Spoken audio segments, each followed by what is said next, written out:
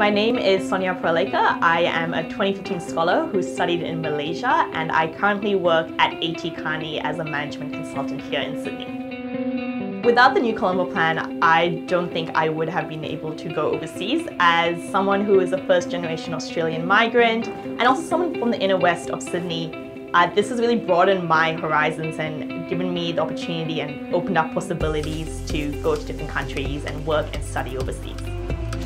The New Colombo Scholarship definitely continues to shape my career to this day, well after my actual exchange program.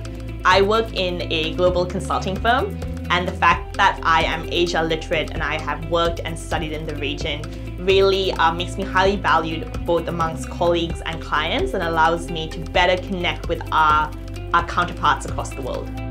As a consultant, we are very strongly connected with the Indo-Pacific region. And so the fact that I've actually been in these countries, it actually gives me something personal to connect with our clients on. And that in itself uh, is invaluable in a region which really relies on those personal connections to forge business relationships.